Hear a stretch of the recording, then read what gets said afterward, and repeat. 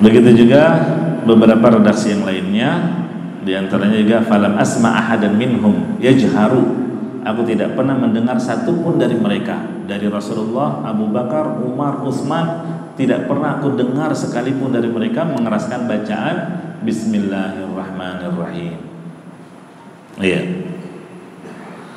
Ini jamaah rahimani wa rahimakumullah Beberapa dalil yang lainnya Di antara dalil yang menguatkan juga Adalah hadis Ibnu Abdullah bin Mughaffal. Ia berkata sami'ani abi wa ana aqra. Bismillahirrahmanirrahim. Alhamdulillahi rabbil alamin. Jadi kata apa uh, anaknya Abdullah bin Mughaffal yaitu Yazid. Ya ayahku pernah mendengarku membaca dalam salat Bismillahirrahmanirrahim.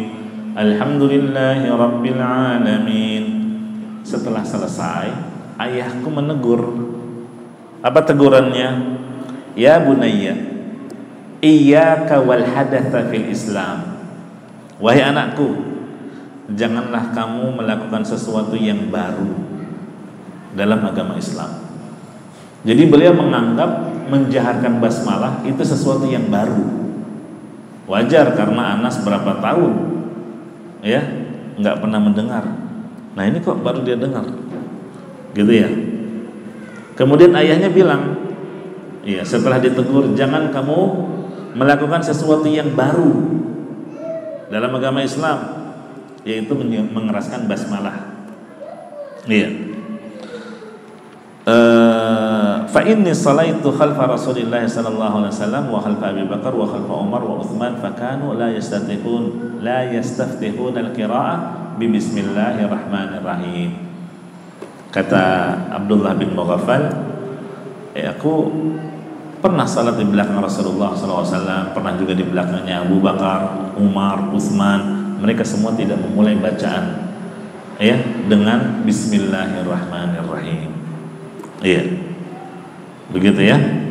Dan terus kenapa kita menguatkan bilang boleh sesekali kalau ada maslahat? Itu dasarnya adalah perbuatannya Abu Hurairah.